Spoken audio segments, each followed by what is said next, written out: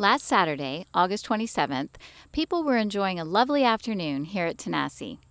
While dining in the restaurant or on the patio, going out for a cruise on their boats, or making their way around this beautiful golf course, this idyllic setting was suddenly disrupted by billowing smoke, fire, and the command to evacuate immediately. While this devastating fire is certainly one of destruction, it soon became one of determination.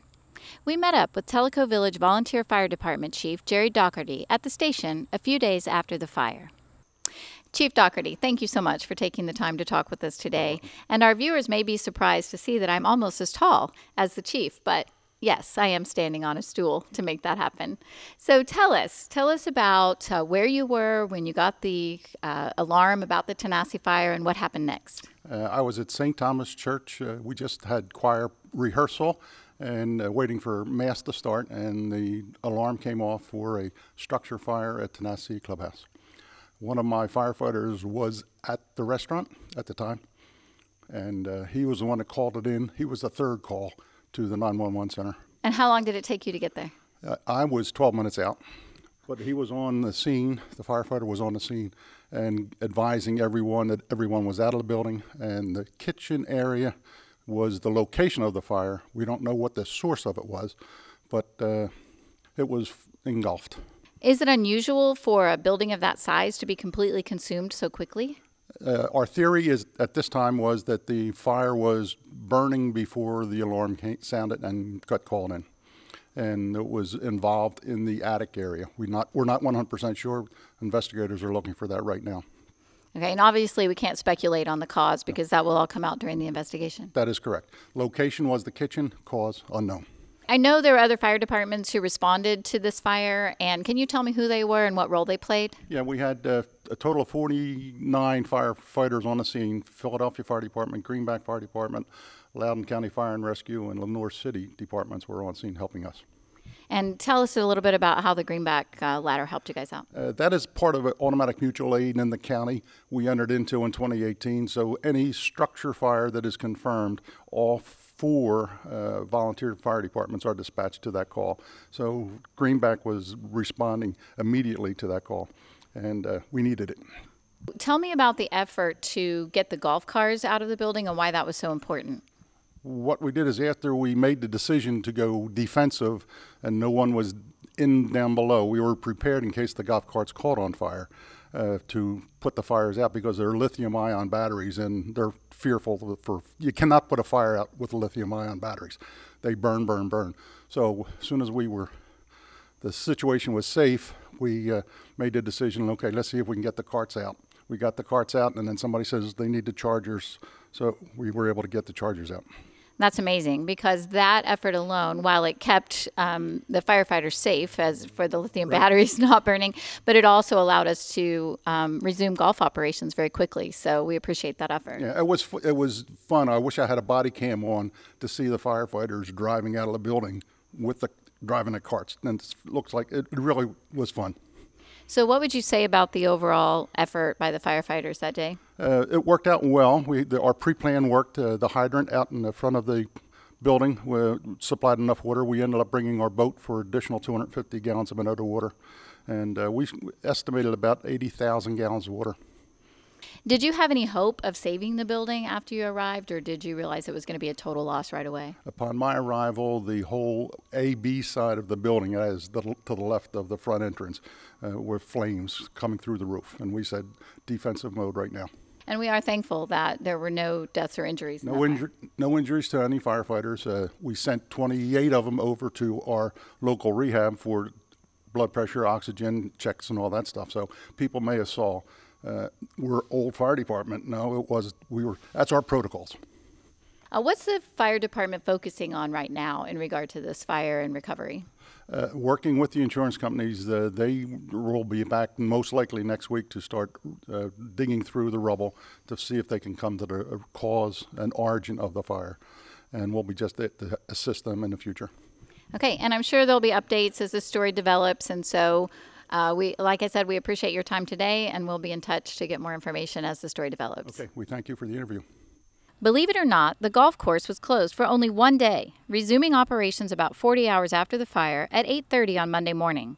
Our crew and I stopped by the course, and employee Chris Henderson shared some of the determination and teamwork that made it possible. So Saturday, day of the fire, can't commend the uh, firefighters enough. They did an awesome job. They were here putting out the fire, and they were able to get into the cart barn and save all of our carts so the lithium batteries didn't catch on fire.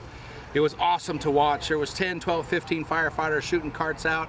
Uh, we were able to save the whole fleet, which in turn allows us to be up and operational within 24 hours of the fire. As we were shuttling them over to maintenance 10 at a time, there was villagers and maintenance staff, red shirt staff taking them over, and then there were wives and, and people to help us shuttling us back over in their own personal vehicles. So there was probably 20 people assisting after the fire was put out to make sure the operations were still up and running and can't say how awesome it is to live here in Tellico Village. You guys did an awesome job. We're here now with Chief Development Officer Beth Kaburka and Director of Golf Chris Sykes. Chris, tell me, how in the world did you get golf operations up and running so quickly after the clubhouse was completely destroyed by fire? Well, it was a Herculean effort, really. Uh, the, the team rallied.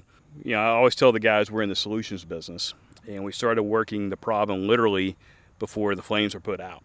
So there were twofold the check-in process, which we knew we could accommodate pretty quickly with the starter shack, uh, you know, the turn shack, and I knew Cal- Kevin Alfon, our IT director, is phenomenal. Those guys are tremendous to work with. He started working on that immediately, so we were ready to rock and roll first thing come Monday. Uh, and thankfully, with the first responders and some good decision making, uh, the golf cart fleet was spared.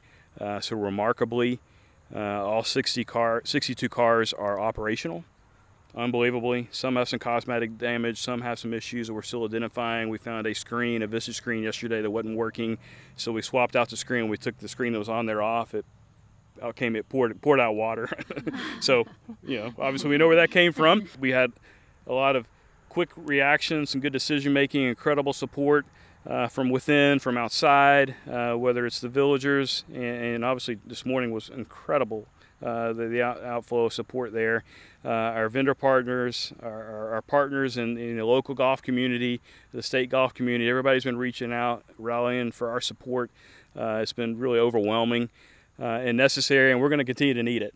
Now that we're operating out of the uh, starter turn shack. Yep. Um, tell us the process for checking in for golf and how golf uh, play is different. As you approach the Tanasi turn shack, uh, looking from right to left, the first bay is the snack shack. The second bay is golfer check-in, and the third bay is our starter ranger cart operations hub. So they'll go to that second window, check in, yep. and then what's different about play? Well, uh, the golf experience is really unaffected. That's unbelievable. On a regular play day, single tee day, you know, just come park your car in the Tanasi parking lot, walk up, be greeted by somebody lovely like uh, Carla here to get you checked in for golf, and then You'll be on your way, go to your car with your golf cart, get your equipment, and then go warm up. And then now we flip the operation. So hole 10 is now one. Hole 10 used to be one. So see if you can follow me. Keep up. So 10 is now one. One was 10. So anyway, you're starting on the hole with the lake.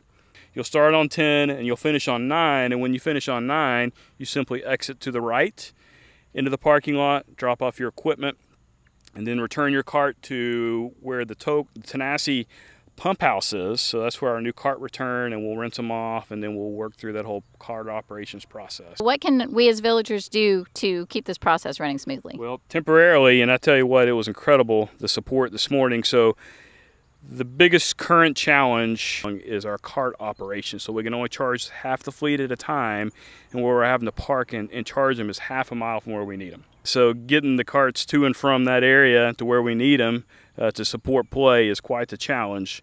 We'll turn to Beth now and talk to her about food services. So, equally as fast, we had food services up and running so the golfers don't have to be famished or thirsty out there while they're playing. So, tell us about that process. Well, immediately, just like with the golf side, Andy with AW Hospitality and his team were on the phone Saturday night. What do we need to do? And working with Chris, you know, they mobilized that the starter shack would be the best place, that there was space for food service. Um, Diana, who is the manager at Tanasi on the food service side, come in on Sunday, helped clean the starter shack, um, went and borrowed um, items from other clubhouses that weren't in dire need there um, and was able to get two uh, coolers stacked with soft drinks, beer. She brought chips and candy bars, uh, brats, hot dogs, and chicken salad sandwiches brought over on a daily basis that they can then sell to golfers. Is there any seating over there? Um, yes, they actually brought over a couple tables and some chairs, and they're in the few shade trees that are over there. So there is a place for people to sit down and eat their hot dog. So it's great that there's food services available. Our golfers won't be famished or thirsty on the course. Um, but there are a lot of villagers who are concerned about the AWE employees from the Tanasi restaurant. Can you tell me some of the options that are being considered for them? Absolutely. So one of the, initial very, I mean, Saturday night when this was all happening, you know, me and Skylar and Edgar were all together at the yacht club celebrating um, the 35th anniversary. And Skylar said, Well, I guess we're opening the yacht club because we have to have a place for our staff to work. And I said, Oh, yeah, absolutely. So the plan currently is to add nine shifts to the yacht club. So it'll be lunch and dinner seven days a week. And as you know, that is not the normal schedule. And all of our Tanasi food service family will be coming to the yacht club to provide lunch and then the extra dinner services. Um, so the best way for villagers to support them in this effort is to show up and eat lunch at the yacht club. All of our family will be there, so you can come and see all of our long-term employees and wish them well. They're going to be there for a while. Do people have access to the boat docks so they can uh, go out and enjoy the lake? Yes, people are welcome to come to their boats. Um, we just ask that they park to the left of the clubhouse, um, closer to the number nine green. Walk around the pine trees, down the sidewalk, into the boat docks that way. Um, in the near future, they'll have a fence up and it'll be a little easier for them to know exactly where to go. All right, Beth. So now I'll ask you the question that's on everybody's mind. What's next? What's next for the Tanasi Clubhouse? We have ordered uh, fencing to go around the clubhouse, so it'll be a little tighter than what the rope has been, and it will for sure keep people out because the Tanasi Clubhouse is no longer a safe place for people to be. It really could fall at any time, and so safety is our number one concern. Um, the next phase would be once insurance gives us the all go, um, we'll have it dim mode. It'll go back down to just dirt. That way it's safe as we work on planning, strategizing, planning, strategizing about what the new Tanasi Clubhouse is going to look like, exactly where it's going to sit, and that is not going to be a fast process. There's a lot to consider. And I'm sure that's part of the overall plan for not only the clubhouse, but for golf at Tellico Village and I mean at Tanasi and where everything's going to be, right? Absolutely. This is going to be a blank slate again. So, what a new clubhouse is going to look like, where it's going to be positioned, how big it needs to be, are all things that need to be considered. In the long range plan already, we had a kitchen expansion for Tanasi planned, um, so we know it needs to be bigger. So now we just have to get all those details. I mean, it's going to be a process, and of course, we will bring villagers along the way. And that's why it is so important for villagers to be signed up for the Telegram because that is the POA's number one source of news. So if people really want to know what's going on from the POA perspective, they really need to be um, registered for that. It's not something we can automatically sign villagers up for. You can do that at the Welcome Center. You can do it online. There's a link. Um, you can call, you can come in. There's so many ways to do it. So we just encourage everyone to subscribe and to read it. Thanks again, Beth. I'm assuming we don't have a timeline for how how long any of that's going to take. Unfortunately, no. Sorry. I, I had a feeling. All right. Thanks again. This story will continue to develop, and Tellico Village Network will bring you updates as we know more. In the meantime, stay informed by visiting the website at tellicovillagepoa.org. And while you're there, sign up for the Telegram, the weekly e newsletter that is the number one official source for news in the village. As always, thank you for watching Tellico Village Network.